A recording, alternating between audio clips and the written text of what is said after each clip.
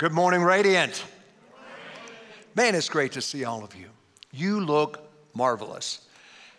Thank you so much for being with us, and we also want to welcome those at our North Campus, our Woodland Park campus, and all of you watching online. Let's give all of them a great big hand today. A number of years ago, my wife Kelly and I had the opportunity to go to Europe for a church history tour. And we went around and looked at some of the most significant sites in Christianity throughout different countries in Europe. One place where we particularly had a good time was actually a shopping mall. But what made it so unique is that it was a bunch of old buildings that made up this outdoor shopping mall. And of course, here in America, when we think old, we think of a 150 year old building or maybe 200 years old. But there, we were in four, five, 600 year old buildings. And the most substantial and significant one was a building that had marble floors. It had these very intricate pillars. It had Gothic construction and beautiful stained glass windows. And we quickly realized that it had been a cathedral. And as we sat there, I couldn't help but think at one time, this was a place where people discovered amazing grace, where they experienced the love of God and this was probably a place that was a light to the entire community. And now it was just a shopping mall. I want you to keep that image in mind as we open our Bibles today to the book of Revelation.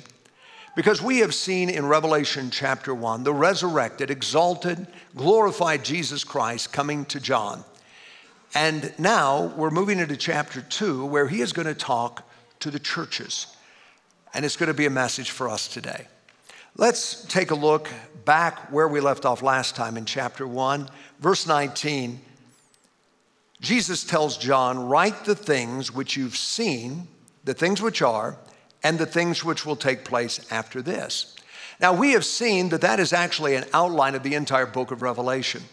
The have seen is chapter 1, where he experiences the resurrected, exalted Jesus. And then chapter two and three is the are, because it's what's happening right now in the churches.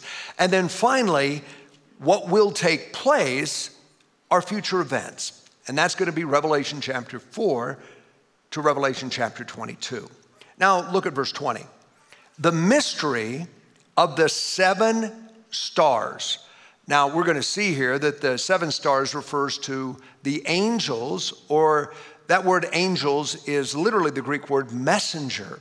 And most scholars, most commentators believe that's speaking of the messenger in the church, the pastor of the church, who's now going to communicate this word to his congregation, which you saw in my right hand and the seven golden lampstands. The seven stars are the angel of the seven churches, and the seven lampstands which you saw are the seven churches. Now, Jesus is going to be addressing these seven churches in Asia Minor, which today is Western Turkey. And you know, you can still visit the ruins of these cities today. They were in close proximity of each other. They actually followed a circular route that was a postal route. You started in Ephesus and went around to all the other churches and came back to Ephesus. Now, there are some churches not included that were in the Asia Minor area, like Colossae and Hierapolis, but I believe these specific churches are there for the reason that Jesus Christ is wanting to deal with these issues, not only in that time, but for all of us for all time. That's why he says, Hear what the Spirit says to the churches. Now, the churches are depicted as these lampstands. Now, I know for most people, when they see that, what may pop in their head is a menorah the Jewish menorah, but that is not what the lampstands were. This actually could be translated in the Greek language as an oil burning lamp. And this is what it looked like. This is an actual replica. In fact, I know people who have the real deal because there were so many of them. It's how you lit your house. And so when they'll do archaeological digs, they'll find hundreds and hundreds of these things. But what they would do is just take this clay vessel and put oil in it with a wick, and through it they would light their homes at night or their businesses or whatever it may be. And that is symbolizing the church. And the church is made up of us. And we are vessels. They were easily broken. We can be easily broken vessels. We seem very common, very ordinary. But in us is oil. And I believe that oil represents the Holy Spirit in our lives. That's why Paul said, We have this treasure, that's the Holy Spirit, in earthen vessels. We're just clay pots, but we have the Holy Spirit that burns through our lives, that ignites our lives, that shows the light of God to the world. And so the church is represented in that way. And what's really interesting is Jesus says not that they're clay, but that they're gold. Because the church is so precious to Jesus. And in that day, gold was the most precious metal they knew. And so Jesus is saying the church is very precious to me. It is my light in a dark and a hostile world. And again, the angel is speaking of the messenger or the pastor of the church. Now, I know for most people it'd be very hard to imagine pastors being angels. But you're a radiant church, and a radiant church, you know our pastors. I, I at least think of Pastor Kelly. I, I think she looks angelic. Um, the reason people are laughing because we put up on the screens a Photoshop picture of Kelly as an angel. I think she does a great job of looking like an angel. But the seven churches, the number seven speaks of completion. And so you have these angels that Jesus has in his right hand, the stars, the hand of power, the hand of authority, which tells us that a pastor's power and authority comes from Jesus, but more than that, that all power and authority is from Jesus. And so, really, a pastor is only an under shepherd to the chief shepherd, Jesus Christ. And someday we're going to have to give an account to him for how we pastored. Now, Ephesus was the first church in this region, and it was the most influential church. It was in the most influential city. In fact, it was probably the fourth most influential city in all of the Roman Empire. It was the fourth largest city. It wasn't the capital of this region, but the Roman governor actually lived there. And they were to be a light of Asia, is how they were known, because of their high tolerance and their supposed enlightenment. They worshiped many gods, including Nero, the emperor, and then later on, Domitian. And so Domitian is being worshiped at that time. It's emperor worship where they would take a pinch of incense to honor and to recognize the emperor. And they considered Domitian a god. Now, the worship of the emperor was common, but what the city was really known for was the worship of Diana, also known as Artemis. Artemis is the Greek name of Diana. And in that city, there was such tolerance for different religions, and there were so many gods that if you said you believed in only one God, that would be considered offensive. But almost everybody worshiped the goddess Artemis that was in Ephesus. In fact, he, she had a huge temple there. It was the first temple ever made completely of marble. And it was exquisite. In fact, it was one of the seven wonders of the world in that day. And Artemis within the temple had a meteorite that they had, a black meteorite, that they said was a statue of Artemis that had fallen from heaven. What really made the temple disturbing to me is that they had temple prostitutes, both male and female, that worked there continually. And it was a very despicable religion, especially this form of ritualistic sexual immorality that was rampant there. So much so that, other than Corinth, it was probably the most immoral city in all of Asia Minor.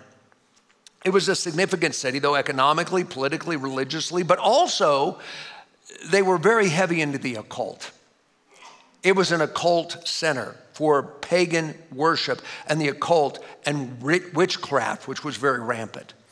So, into that city, the church was birthed 40 years before this is written. And maybe you remember the story. You can see it in Acts chapter 18 and 19. There was a man named Apollos. He was a very eloquent man. And he came into the city and he began to teach and preach everything he knew. And Priscilla and Aquila were a couple who were, had been friends of Paul, and they met Apollos and they instructed him a little better in the Word of God. But through Apollos' preaching and the ministry and management of Aquila and Priscilla, a small church formed. And then Paul comes to the region. And when Paul comes, these believers are filled with the Holy Spirit, and the church begins to grow and multiply. So much so that they had to find a place to minister every day, and they went to the school of Tyrannus, where Paul would minister and people would come, and it was literally a ministry training center. People would go out from there to other areas of Asia Minor, and in fact, all of the seven churches mentioned here, they all started during that revival because it truly was a revival. It was a great outpouring of the Holy Spirit with extraordinary signs, wonders, and miracles, to where we read in Acts 19 that God even performed unusual miracles of taking handkerchiefs and aprons out, and people were delivered of demonic spirits. It was such a powerful revival that people gathered up their occult books and they burned them to the glory of God. And it was such a powerful move of God that it affected the local economy. So much so that some of the artisans there who made statues to Artemis were not making as much profit. So they started a riot. Well, we know about riots these days, and it was horrific. And it set the whole city in an uproar, and a lot of people didn't even know what they were there for. But it was so dramatic that Paul had to leave the city. Later on, he comes back to that region and he comes to Miletus, where he gathers all of the Ephesian elders. And as you read it in Acts chapter 20, it's a very moving talk where he talks about how he taught them the entire counsel of God and how much he loved them. And he leaves the area. And he stays essentially the bishop of the churches there, but a man named Timothy becomes the pastor of the church of Ephesus. He's a man that Paul had trained. Timothy later is actually martyred for his faith, and John, who after Paul's death became the essential bishop of that area, becomes the pastor of the church. And if you remember, John would have had Mary, the mother of Jesus, with him. So, can you imagine? You have John as the pastor who followed Timothy, who before that it was Paul, and you have Mary, the mother of Jesus, in the church. This was a very significant church, a very important church, a very influential church. And there, John wrote 1st, 2nd, and 3rd John. In addition, is probably where he was arrested and taken to the Isle of Patmos. So, this is the first church that Jesus is going to address. It's a well known church, well respected church. And so, let's read it.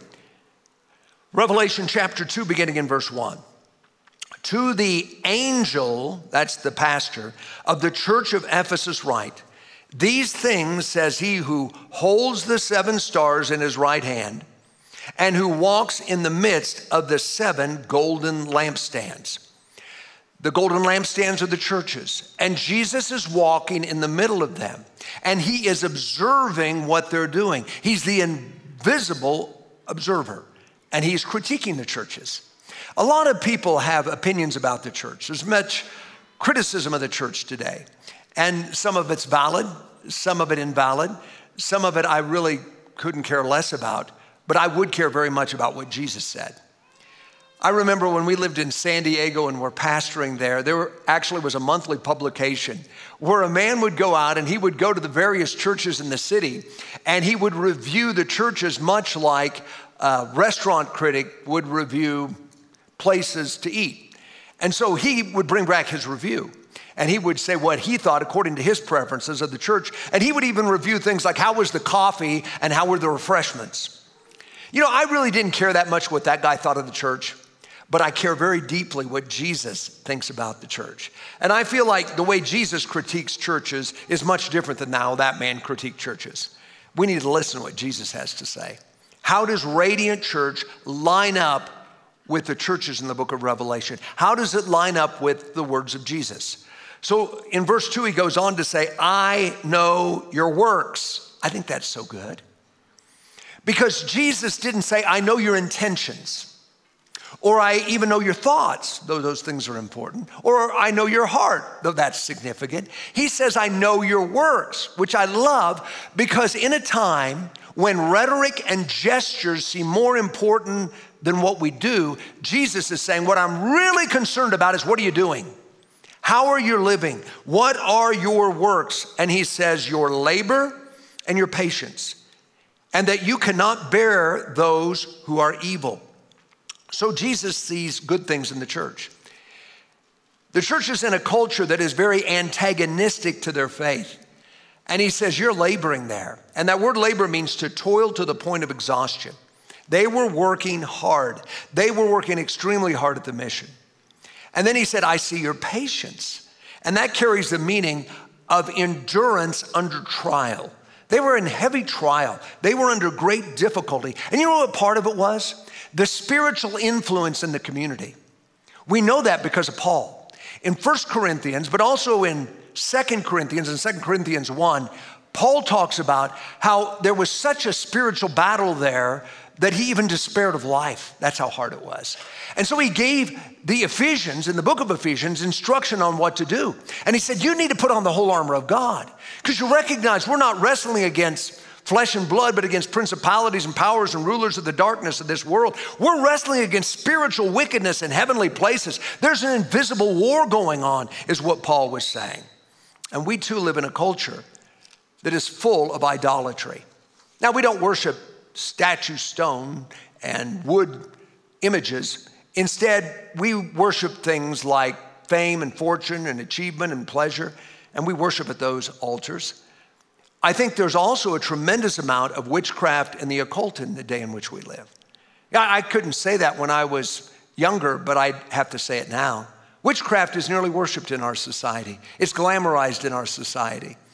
I remember reading more than once over recent years that covens of witches are gathering together, putting curses on the President of the United States. I mean, that's the culture we live in. So it's very similar to what they were dealing with. Look at verse 2 at the end. He says, And you have tested those who say they are apostles and are not, and have found them liars. So there's challenges without, but there's also battles within. Ephesus was a major transportation center. It was a major seaport, and there were also highways that went through there where many people came into Ephesus. So they had all these people coming and going all the time, and some of them would come in and say they're Christian ministers. They would say they were apostles. Some of them would probably say they were prophets. And they would have to judge whether they really were. And for a lot of them, the Ephesians said, No, you're not prophets, you're non profit organizations. nah. Okay, I'm doing my best here.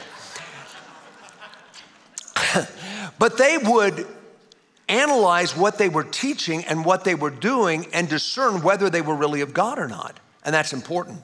Jesus talked about that. He said in Matthew chapter 7, verse 15, that there would be those who were false prophets, and they would come in sheep's clothing. So they would look like sheep, they would look like Christians, they would look like followers of Jesus, but he said they were really ravaging wolves. He said, Therefore, by their fruits you will know them. Or I think of Paul in Acts chapter 20 when he's talking to the Ephesian elders, and he says, for I know this, that after my departure, savage wolves are gonna come among you, and they're not gonna spare the flock.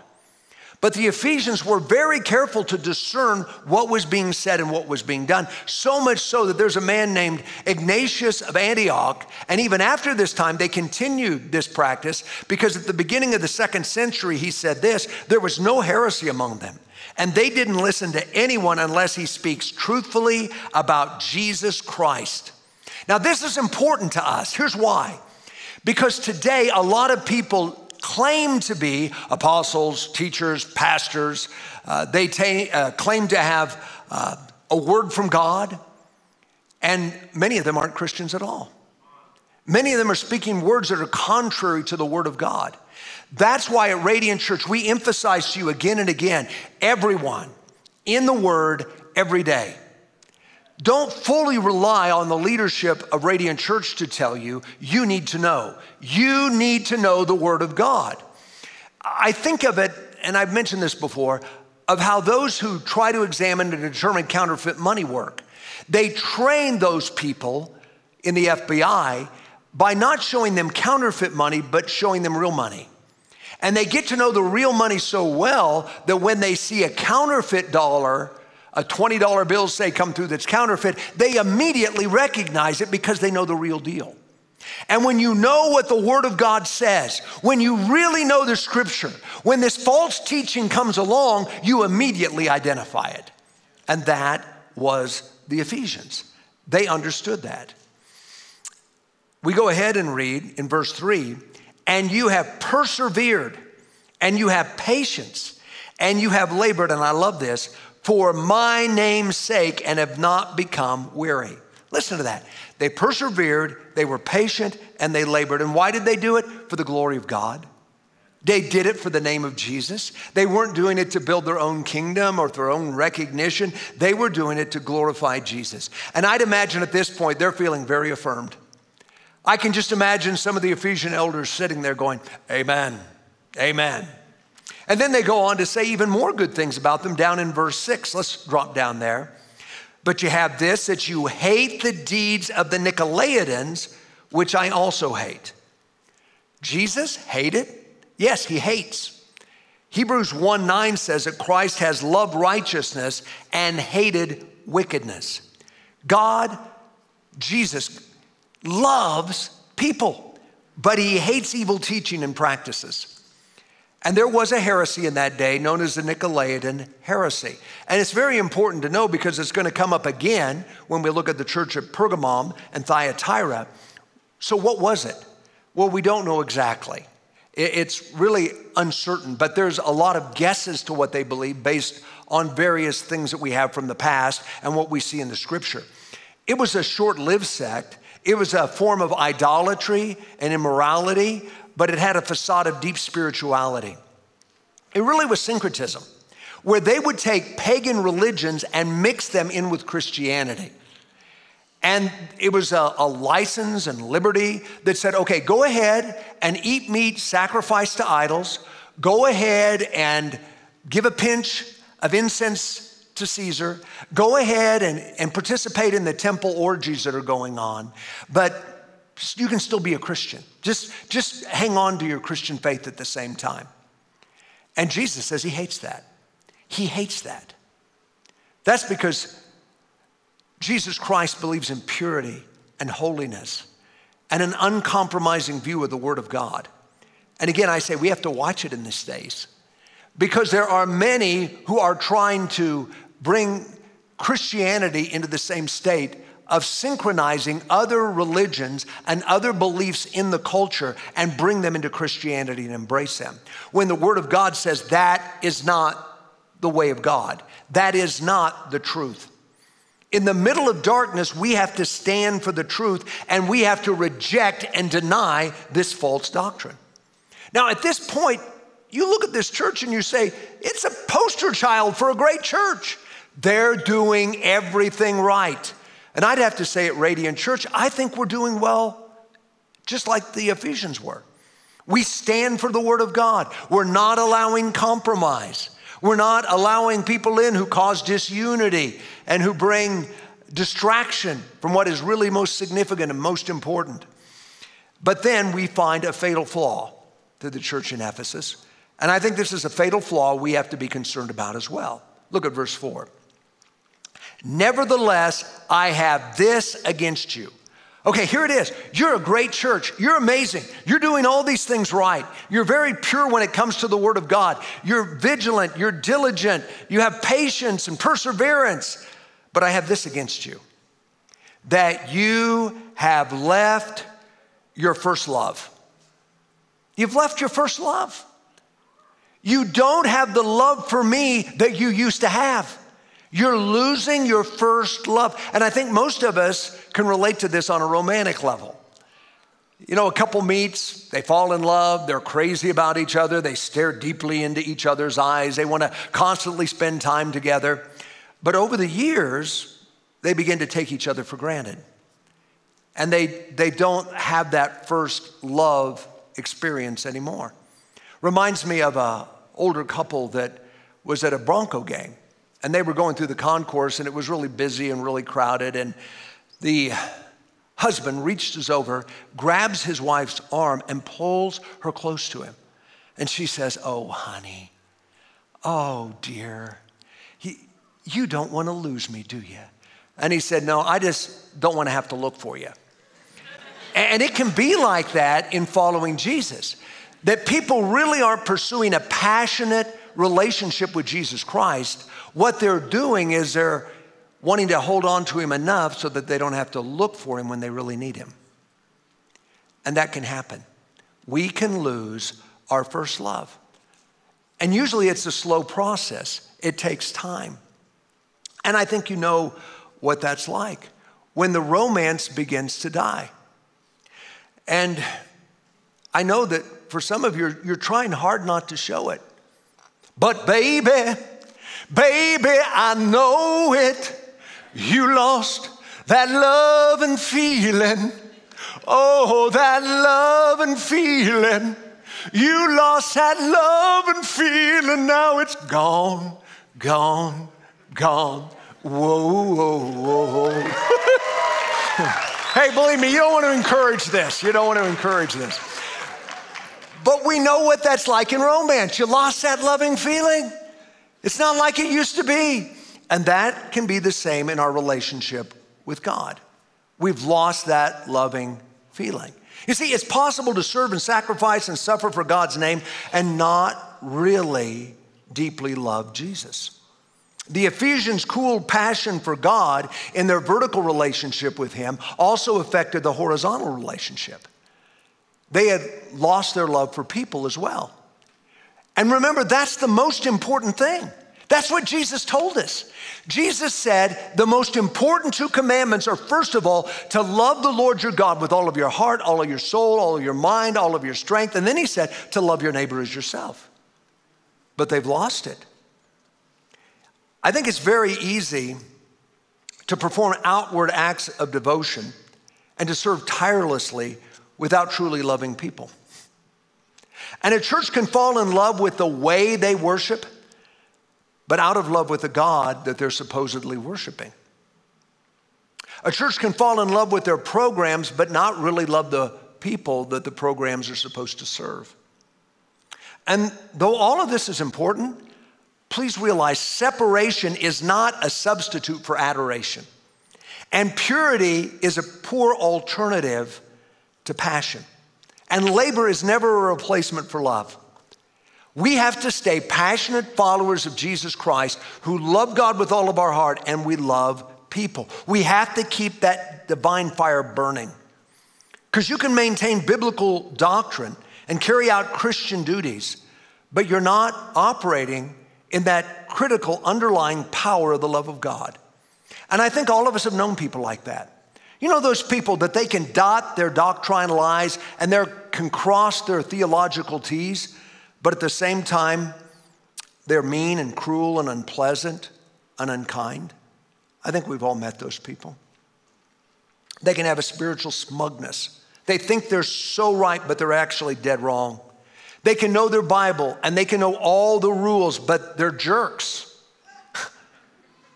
And when you're like that, you're not impressing anybody, certainly not Jesus. And the Ephesian church 40 years ago started in a red hot revival where they were on fire for God. And they loved God with all of their heart and they loved people with everything in them. But they're still doing all the right things. They don't just have that same love for Jesus they used to have. And it's not a small matter, it's not a small thing.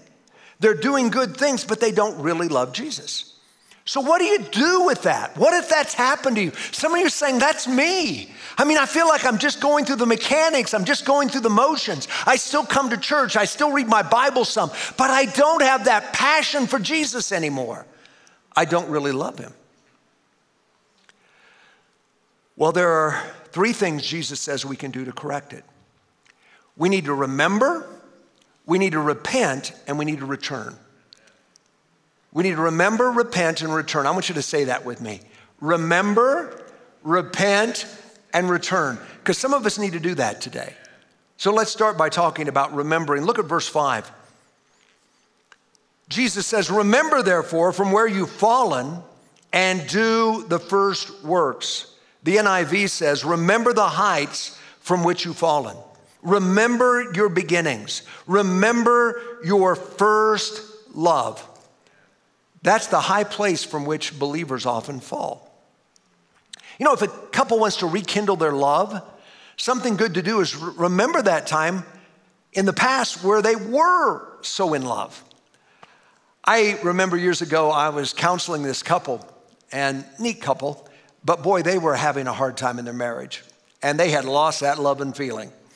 And so I looked at them and I said, well, what was it that first attracted you to one another?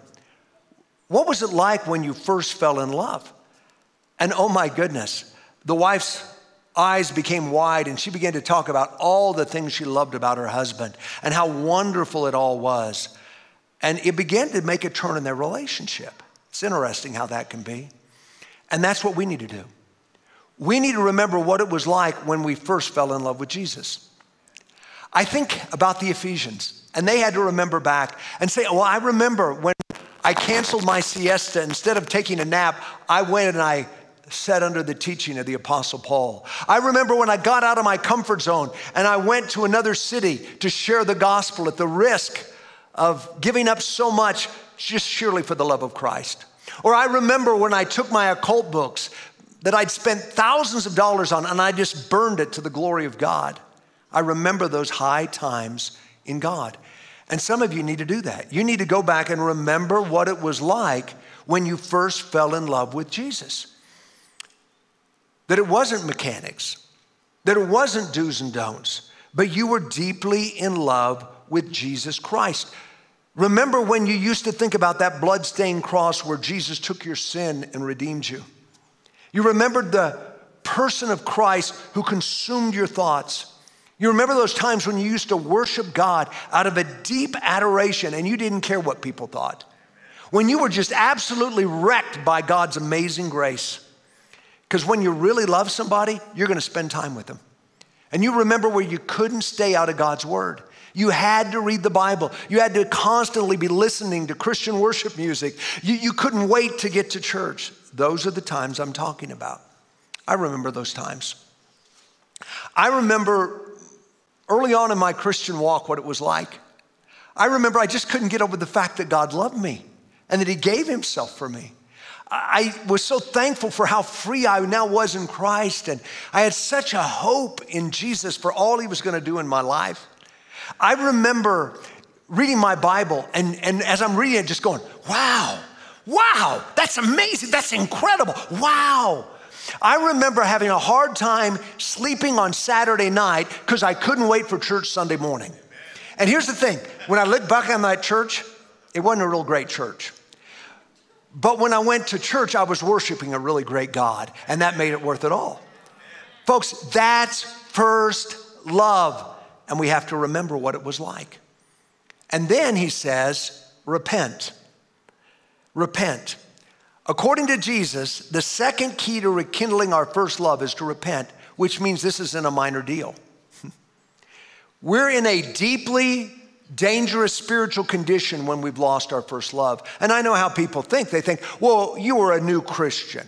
You know, it, that eventually wears off. It shouldn't. That's not what Jesus wants. He wants us to stay red hot, passionate for Him. That's the number one priority He has for us. That we have a deep, burning love for Him. We want to spend time with Him. You know, if you love somebody, you spend time with them.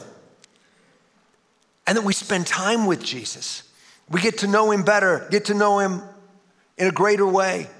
Listen, if you're faking it, if your prayers start seeming meaningless, if you're more concerned about your worship preferences than the God you're worshiping, if you come to church to be a consumer rather than to be consumed by God, you've lost your first love. And folks, it's serious. You need to make a 180 degree turn and go the other way. Then finally, he says at the end of verse 5 do the first works. That's where I get the word return. Go back to what you did in the beginning. So you say, what characterized those early days when I was in love with Jesus? Well, I'd wake up in the morning and he was the first thing I thought about. We'll do it again. I used to have these internal conversations with the Lord all day long. We'll do it again. I used to study my Bible and really expect God to speak to me. We'll do it again. I used to pray and have such faith God was going to answer my prayers. We'll do it again. Don't wait for the feelings. You act and the feelings will come. So go back and do it again. And then he says in verse 5, or else. Or else, that bothers me because my dad used to tell me that. I remember when I would get out of line, he would sit down and give me a talk and said, This is what's going to happen now, son, or else. And his or else was never very pleasant. And so I would straighten up. So, what's the or else? Here it is I will come to you quickly and remove your lampstand from its place unless you repent. Boy, that's serious. Remember the lampstand? Of all the things this church has, the most important thing we have, the thing we need to protect the most is the lampstand. Because if you don't have the lampstand, you don't have anything. It's your influence, it's God's presence in a church, it's God's glory in a church. And if you lose your first love, you lose your lampstand and you don't have anything. I mean, you can sing, you can preach the Bible, you can go through the motions, but Jesus may not be there at all. You've lost your lampstand. There's nothing more critical. There's nothing more important. You got to keep that first love so you can keep your lampstand. And let me explain something. Churches are known for all kinds of things. Know, I can point out churches that are known for their amazing facilities. I know churches that are known for their enormous size, and there's a lot of those anymore. Uh, some churches are known for their incredible music. And I got this amazing rock band. or they're known for uh, their great preaching. They have this eloquent, powerful preacher uh, who's really funny and dynamic. And, uh, you know, I, I don't care really much about being known for any of those things. What I want to be known for at Radiant Church is that we love Jesus. We're crazy about him. We love him with all our heart. what's, what's that Radiant Church about? They just love Jesus. They're just crazy about him. They're nuts about him. And because they love him, they love people that he loves. That's what we need to be known for. And I think what Jesus is saying is if you lose your first love, I'm not going to stay in a place where I'm not loved. And they'll lose their lampstand. Look at verse 7. So then he says, He who has an ear, let him hear what the Spirit says to the churches. This isn't just for Ephesus, this is for all seven of those churches, and it's for every church since. He says, To him that overcomes. Okay, what are they supposed to overcome? Because he's going to say that again and again to the churches. You got to overcome. Well, what did the church in Ephesus have to overcome? Well, they're in a pagan culture that's antagonistic to their faith and they're in a place where there's a constant demonic harassment. And they're going to have to overcome all that and stay faithful to Jesus no matter what. But more than that, what they have to overcome is lovelessness. They got to get the love back. They got to fall in love with Jesus again. And if they can overcome the complacency and the apathy and the lovelessness, well, then there's promises. To him who overcomes, I will give to eat from the tree of life, which is in the midst of the paradise of God. Now, what in heaven's name does that mean? Well, you, you really have to do a little research on that one. One thing I think it means is that in that day, the emperor would always have a garden, and that's where he would entertain. And Christians weren't invited to that. And Jesus is saying, But I'm the King of Kings and the Lord of Lords, and you'll be invited to my garden. But even more than that, that day in the temple of Artemis, remember it was one of the seven wonders of the world, it was a key landmark there in Ephesus. They had an amazing garden paradise, just an amazing garden. And in it was a actual tree that was very well known. In fact, it's depicted on some of their coins. And it was said that it was a tree of life. And if you could get to that tree and touch it, if you were a woman with infertility issues, you'd, be, you'd become pregnant. If, if you were somebody who physically was having challenges, if you could touch that tree, you could be healed. And it was the idea that if you were a criminal, it was actually a sanctuary place, that if you could go in there, even if you were unrepentant of your crime, if you could just touch that tree, the law couldn't touch you. And Christians couldn't get in there. I mean, it was the temple of Artemis. You don't go there if you're a Christian. And Jesus is saying, wait a minute, I've got a garden paradise for you. And I've got the true tree of life. I've got life more abundantly. I've got true life. And if you'll come to me and you'll overcome, you can come to that tree, and by faith, you can experience everything that I have for you. Everything that Adam and Eve lost in the original paradise now can be found in Jesus Christ if you'll simply overcome. So that's the message he's giving to this church in Ephesus. That was such a good church. Folks, Radiant Church is a good church, but we don't ever want this fatal flaw where we lose our first love.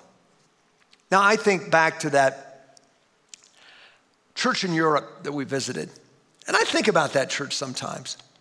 And I think, you know, there was probably a time where their fire was lit and it burned for the glory of God, and they were on fire for Jesus, and it burned so brightly in that community that people were drawn to that light. The church in Ephesus was like that. Their light burned brightly in the darkness. In a dark world hostile to their faith, people could find Jesus because they had a lampstand that was burning brightly. Folks, I believe that that's what Jesus wants for every one of his churches. We need to be a light in the darkness. We're called the light of the world. But the key to keeping that flame is our first love. And don't think it can't go out. Don't think it can't go out. Let me tell you some good news about the church in Ephesus. The man I talked about earlier, who had written in that second century, Ignatius of Antioch, he said that they took heed to that message and they recovered their first love and they went on to be a dynamic church. However, here's the bad news. Today, if you go to Ephesus and that area, there is no church. In fact, they're not even sure there's any Christians. If there are Christians, they're underground. You can lose your lampstand. Folks, we can't lose our lampstand. If there's one thing we have to be determined to protect, it's the lampstand. And the key to keeping the lampstand according to Jesus is not to lose our first love. Now, I'm going to speak to you because there's some of you, you have lost your first love. Christianity has become mechanical to you. God's word has become rote to you. And I'm going to tell you, nobody's exempt from this. I can go to the scripture and I can read it and just say, oh, you know, I've been there before. I've read this before. I, yeah, I know that. I know that. I know that. I know that. I, I need to prepare a sermon, so I better get into the scripture. Or I can open the Bible and say, Jesus, speak to me today. I can go out in my everyday walk and I can just get involved with every other thing, or else I can say, Jesus, I want to follow you today. I want to talk to you today. I want to fellowship with you today. I can come into a building like this and the music can start and I can lift my hands and my mind's thinking about all kinds of other things. Or I can say, Jesus, I'm just here to honor you and I love you and I, I want to serve you and I want to give you everything. Jesus, I love you so much. And folks, you can do it. Hebrews says, follow those who through faith and patience inherit the promises. Folks, you can do it. Follow those who do it. Find somebody who loves Jesus. Do what they're doing. If you've lost your first love, remember what it was like and do what you used to do. But whatever you do, don't lose your first love. Let's pray together. Father, I pray for everyone in this auditorium. I pray for Radiant Church today, all of our campuses. I pray for those watching online. Lord God, please help us to protect that candlestick. Please help us to protect, protect that lampstand. May it burn brightly at Radiant Church. May we not let it go out. Father, I know in Ephesus it was another generation where the lampstand was beginning to go out.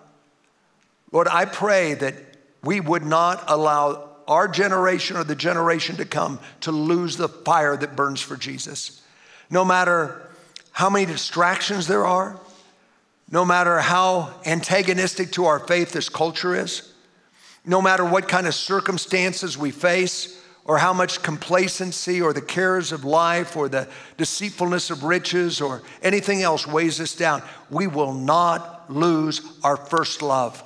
Father, I pray that every one of us would make that determination today. And we say, Lord Jesus, baptize us afresh in your love. Give us a fresh love, a fresh fire for you. And Father, I pray that for everyone here, everyone listening on radio, everyone under the sound of my voice at every campus and online, Lord, let us not lose our first love. In Jesus' name, amen.